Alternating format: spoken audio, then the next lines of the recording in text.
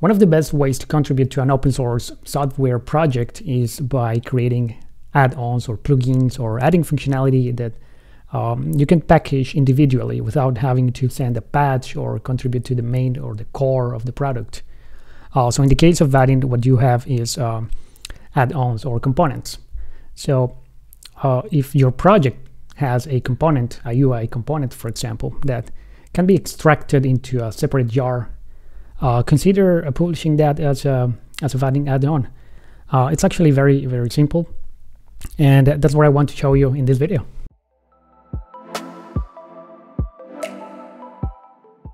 So first we need to create a new project and for that we're going to go to vaadin.com slash start and scroll down until you see the add-on starting point. Now you can uh, inspect the code on GitHub if you want. And uh, keep in mind that there are that, that if you click here it clearly says it's going to use Vaadin 14 but if you want to create a, a version, uh, an add-on for the latest version then jump to the um, master branch and download from here okay?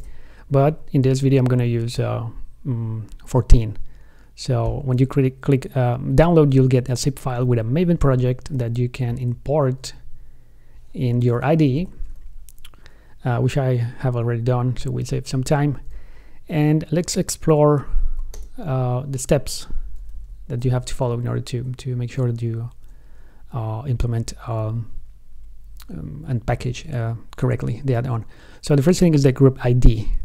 Uh, there's going to be a change in the in the Vaadin directory that uh, will prevent you from uploading new add-ons if you don't follow this convention for the group ID. So it needs to start with org.vaadin.add-ons and then you can add whatever you want to uh, to add, but should start with that then it could be the name of your company, organization, or even your name, which is what I'm going to use here.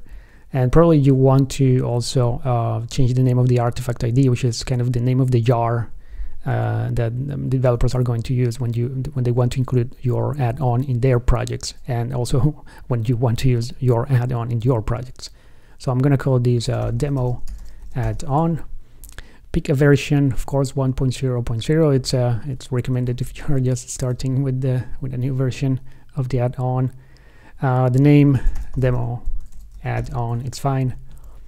Uh, maybe include a description. This is just an example then you need to pick the version of Vaadin that you want to support for your add-on so uh, I'm gonna use 14 I'm gonna use uh, the, the latest uh, long-term support version, which is 14.5.3. So I'm going to change to that here.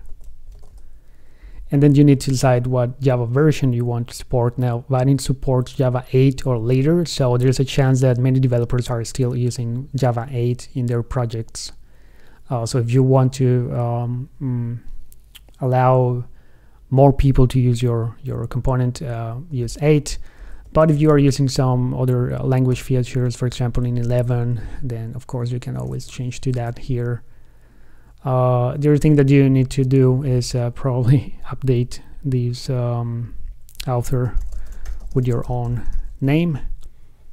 And that's it really. Uh, you can pick a uh, different license if you want and configure uh, whatever you want to configure here.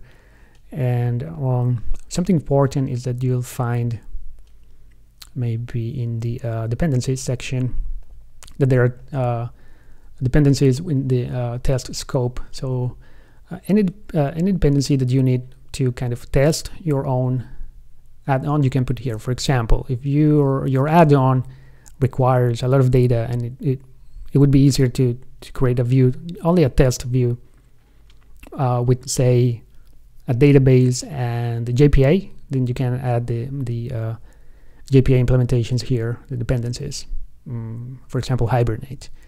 Uh, but add them in the test scope so that they don't end up in the final artifact because you don't know what your users users uh, or other developers are going to use. They might just use uh, a different uh, framework for persistence. Um, so keep that in mind. All right, let's close this file and jump into the code. So the first refactor you probably want to do is the name of the packages. So you have uh, main and test. So let's uh, change this with maybe my name and demo add on. And actually I'm gonna copy this because uh, I will need to change uh, this package as well. All right. Now you need to probably change the name of this class as well. So right now it's called the add-on, which is pretty cool. Uh, but let's use something more descriptive. So I'm gonna uh, implement a feedback form. Let's uh, refactor that, and uh, let's uh, actually uh, implement something. Um, maybe we can get rid of all these distractions for now. Um, let's organize the imports as well. Let's use a vertical layout here and let me add some components here as well. Mm, for example, a new, new h2 element or component with a title. We can add a new text area and we can add a new button as well to send the, the feedback now, we probably need to extract this to a local variable so that we can use it in a in a um, um, click listener.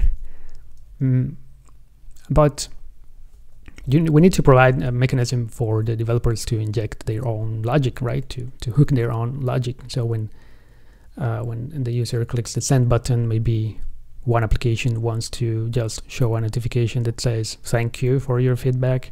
Another application might just add that to a list of feedback or uh, we really don't know right? Maybe they want to save it in the database.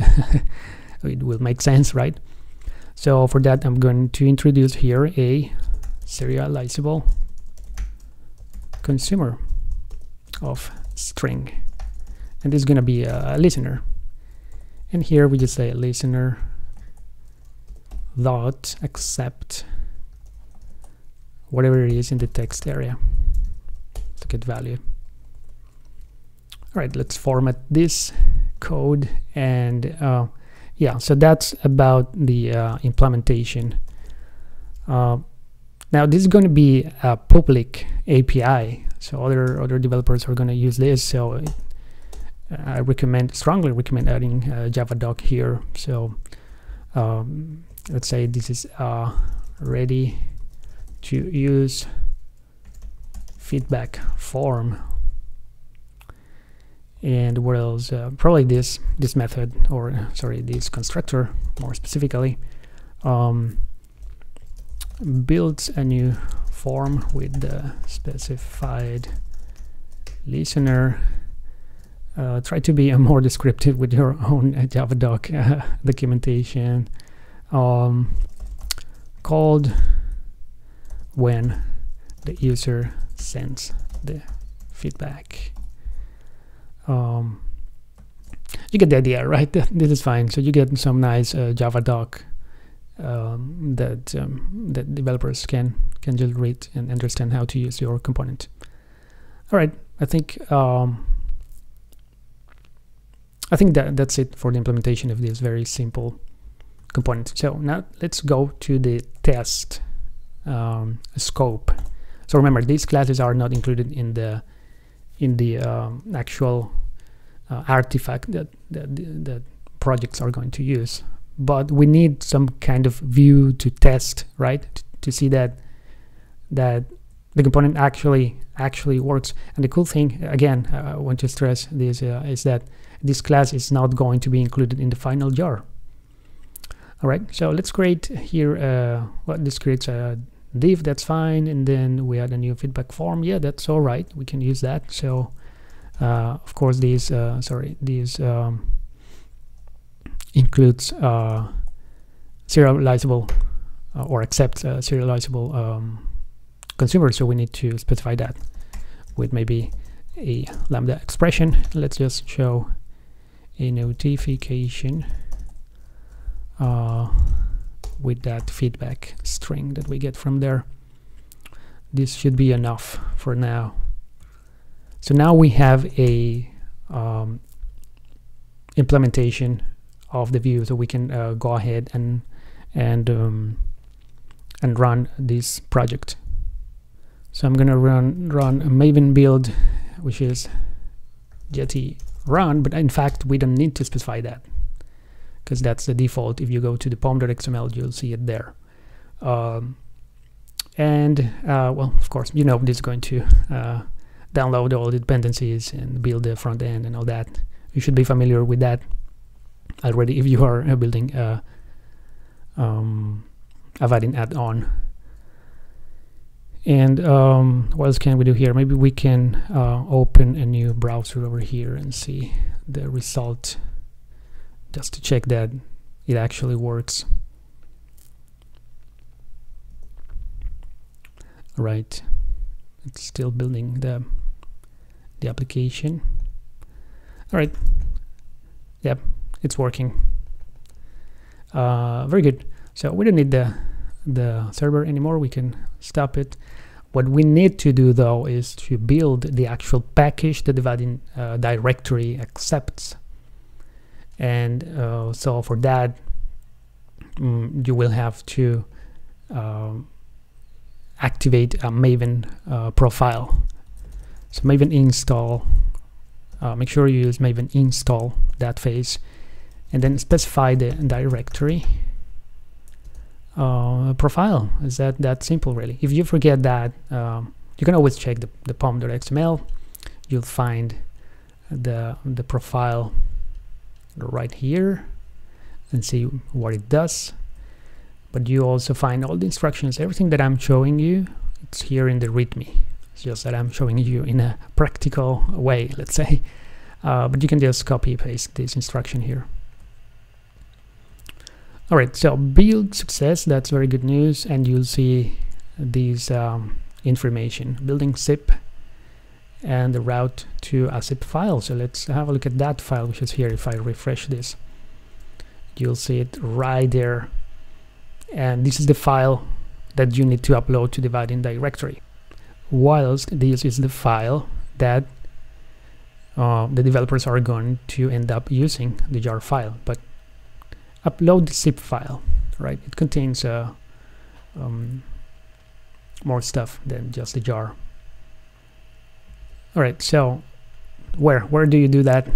If you go to the add-on directory which is vaadin.com slash directory you will need to create a new account. So I'm using my personal account right now at vaadin.com uh, but uh, basically what that means is that it gives you this option over here publish component um, now you might want to create maybe uh, a new account for your organization or company and publish the add-ons in, in, in their name. I don't know. Uh, that's uh, that's an option. That's up to you.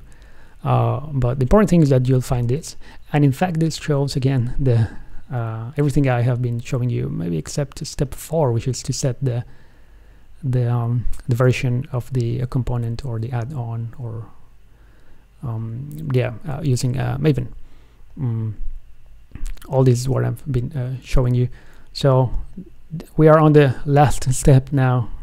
Upload file. I'm actually not going to upload this silly uh, uh, add-on uh, but you get the idea. You select this file you upload it and I'm gonna show you maybe with an, one of my, my components. So let's pick uh, maybe this is a funny one drunk mode.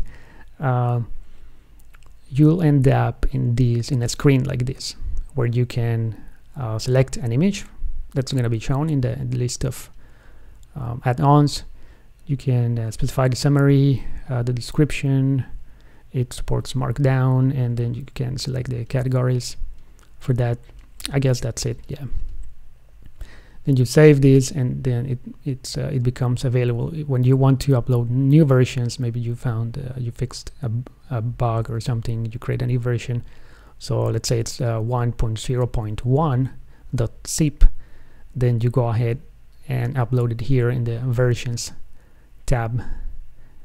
All right and after that when uh, people go to the directory for example in the case of this funny uh, add-on they'll find it there.